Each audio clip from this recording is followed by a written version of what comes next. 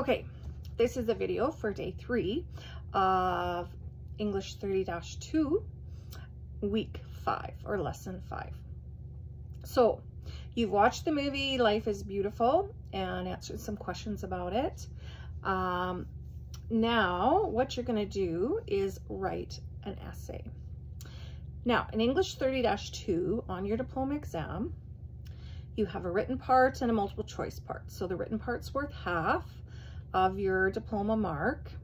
and this year the diplomas are worth 30%. So there are a significant amount of marks that they are worth.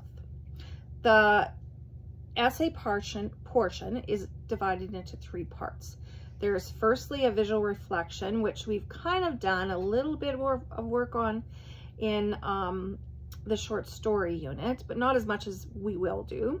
Then there's a literary exploration, and that's what we're going to look at today. And then there is a persuasive essay.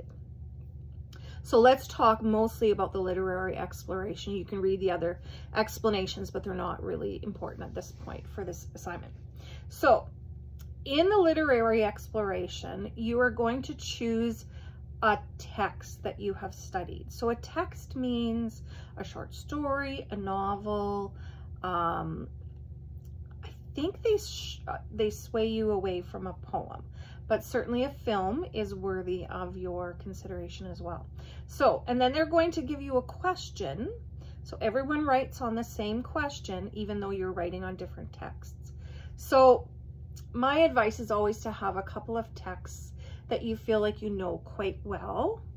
And so maybe it's going to be Life is Beautiful that you're going to focus on um, learning well for your diploma exam.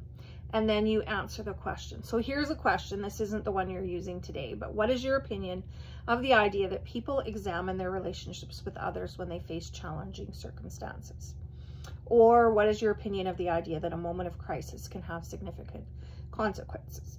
So you have to discuss a character from something you've studied in English 30-2. Now, so in, in um, this film, I mean, you you need to choose a, a principal character. So it's probably best to choose Guido, but I guess you could choose the narrator as well. Joseph, because he figures prominently in the beginning and the ending of the film for sure. You could do that too.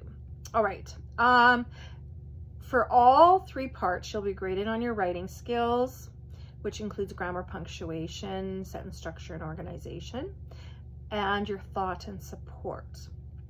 So when you do a literary exploration essay, you need to answer the question specifically and completely.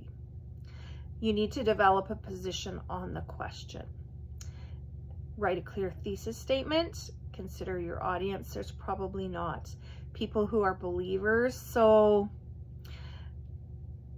you might find that um, if you talk about God a lot, um, you may have a marker that doesn't look kindly on that.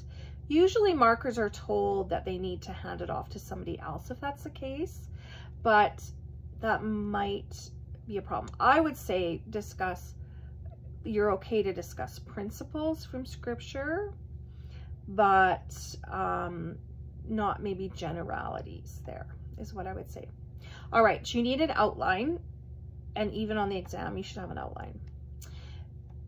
So your support, you need to have I would say a five paragraph essay. So let's do an introduction and then three points and then a conclusion. And so your three points will be how you are answering that question, how you are giving support to that question, to your answer to that question.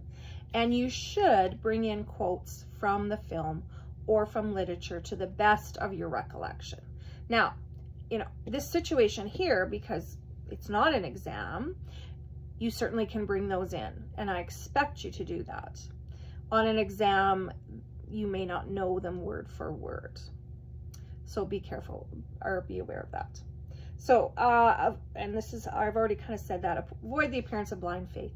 Your reason can't be because your mom or God or told you or God says so. So here's your question for your essay this week. What is your opinion of the importance of one's ability to understand the dangers that he or she faces? All right, you can answer this question in a number of ways. Do you think we ever understand the dangers we face? Is it important for people to understand the dangers they face? Is it better not to understand the dangers? Think about the characters in the film. Did they fully understand the dangers? Would it have been better for them if they did understand or if they didn't? So explain fully what you mean, what you say. So follow the initial planning steps on the assignment document and work on your essay the next couple of days. Now, you are going to need to hand in a formative copy of your essay.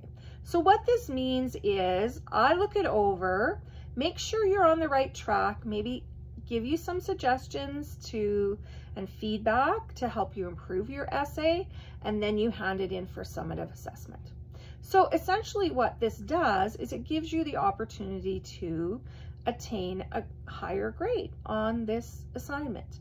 Now, I know I have had lots of English students in the past who've had that opportunity.